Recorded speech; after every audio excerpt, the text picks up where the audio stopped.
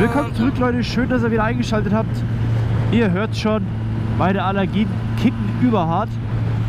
Äh, ich lasse mir aber trotzdem nicht nehmen, jetzt ein Video zu drehen. Und zwar, ihr seht es fast, ich bin fast bei 1000. Äh, und ich bin jetzt unterwegs zum, zur 1000er Inspektion wieder zu Carver Motor. Und da werde ich mein schickes Bike dann abgeben. Werde äh, mir irgendein anderes Bike schnappen, nach Hause fahren und dann meine Süße hier später wieder abholen. Boah, ey, dieses Jahr ist echt. Dieses Jahr ist echt richtig hart mit Allergien. Wenn ich das Schätzchen abgeholt habe, weiß ich auch, was es gekostet hat und werde euch natürlich berichten, was alles gemacht wurde. Und was aber viel wichtiger ist, wenn die Inspektion hier fertig ist und der Motor warm ist, dürfen wir sie zum ersten Mal durchziehen. Darauf freue ich mich schon echt richtig hart und äh, da darf natürlich das Video auch nicht fehlen. Das heißt, ich fahre jetzt erstmal noch bis zum Covermotor und melde mich gleich vom anderen Bike, wenn ich wieder zurückfahre. So, da fährt der Marvin dahin. Fährt mein nettes Schätzchen zum Service und ich äh, packe mir jetzt die 701 Supermoto und ja, schwinge mich damit geschmeidig nach Hause. Äh, ja, Preis weiß ich jetzt noch nicht. Marvin meinte gerade so um die, um die 300 Euro circa für den Service. Mal schauen, wie, wie viel es zum Schluss wird. So, dann erster Gang ist drin. Wir fahren los. Das ist halt schon nochmal wieder was ganz anderes, Mann. Ist aber auch echt witzig. An der Stelle einfach nochmal vielen Dank an Cover Motor, dass das alles so unkompliziert klappt mit äh, Termin für die Werkstatt und Ausleihmotorrad etc. Das ist schon einfach nice. Service ist einfach echt gut.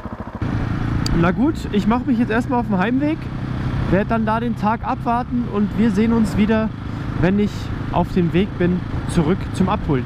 Bis später, ciao. So, Hallöchen Leute, ich sitze auf meinem Schnuckelchen und fahre jetzt hier links Richtung München. Der Motor wird langsam warm, Freunde. Der erste Service ist gemacht. Und ja, war tatsächlich etwas teurer als angenommen. Äh, für den Service habe ich 293 Euro geblecht. Für den 1000er Service. Es wurde halt ganz normal diese alle Sachen von der Kawasaki Checkliste quasi äh, abgearbeitet. Zusätzlich wurde noch, wurden meine Bremsbelege vorne ein bisschen abgeschliffen. Die haben nämlich gequietscht. Das hatte ich kurz nach der Auslieferung, wenn ich das Motorrad, wenn es aus ist und ich es geschoben habe, dann haben die ein bisschen angefangen zu quietschen. Weiß ich jetzt gar nicht, ob das berechnet wurde. Äh, ich glaube nicht. Sondern tatsächlich nur der Service. Ja, 293 Euro. Stolzer Preis. Bei meiner Honda damals waren es irgendwie 100, 150 irgendwie sowas um den Dreh.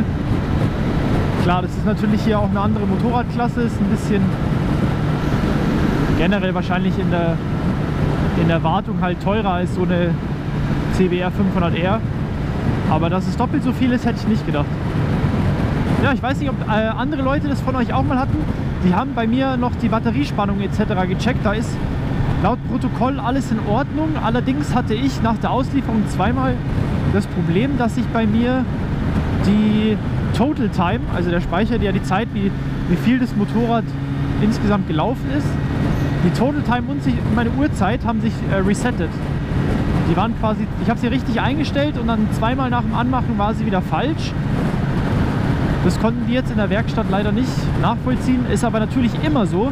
Solche Probleme sind immer nur bei einem zu Hause und wenn man es dann in der Werkstatt vorführen will, äh, passiert es nicht.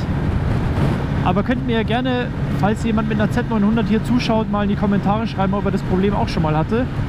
Würde mich echt interessieren. Boah, und ich bin echt so happy, jetzt wieder auf meinem Baby hier zu sitzen. 988 Kilometer. Ich bin wahrscheinlich auch der einzige Dulli auf dieser Welt, der freiwillig vorher, bevor er die Kilometeranzahl erreicht hat, zum Service fährt.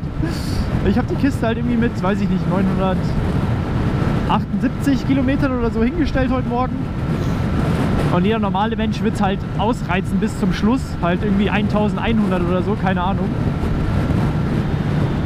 Aber ja, ich wollte halt einfach nächste Woche, äh, falls ich doch mal wieder fahren sollte, eine weitere Strecke wollte ich halt einfach schon auch dann durchknallern und halt nicht noch vorsichtig einfahren und äh, wie was weiß ich. So, das soll dann schon alles ready sein und passen. Meine Spiegel haben sie mir noch ein bisschen weiter nach hinten gedreht. Jetzt sehe ich deutlich besser, muss ich sagen, in den Spiegeln. Ja, jetzt kann die Luzi eigentlich abgehen. Stau, Stau, Stau. Ich melde mich gleich, wenn ich aus dem Stau wieder draußen bin. Da bin ich wieder endlich raus aus dem Stau. Aber es ist immer noch volle Autobahn und Geschwindigkeitsbegrenzungen, soweit das Auge reicht. Ich bin jetzt bei 1009 Kilometer, habe also jetzt die magische 1000 geknackt und ich habe immer noch nicht mehr als 6000 Umdrehungen gedreht bis jetzt. Ich konnte einfach noch nicht. Ich blende euch mal kurz die Checkliste und die Rechnung ein, für was ich da jetzt alles eigentlich bezahlt habe, dass ihr das mal seht und dann vielleicht auch wisst, was es ungefähr bei euch kosten wird. Ja, und das war jetzt noch gar nichts. Aber Alter, wie der Sound sich verändert, wenn man Vollgas gibt, ist ja krass. Ein komplett anderer Sound. Ja gut, schade. Wir konnten zwar nicht voll durchziehen, aber also im Grunde geht es ja auch um den Service und nicht um das erste Erlebnis. Dazu mache ich dann einfach ein separates Video. Ich sage vielen Dank fürs Zuschauen. Ich hoffe, euch hat es gefallen. Dann lasst einen Daumen nach oben da, kommentieren und abonnieren nicht vergessen. Leute, die, äh, die Glocke läutet. Die könnt ihr auch direkt aktivieren. Und wir sehen uns hoffentlich nächste Woche wieder im nächsten Video. Bis dahin, ciao.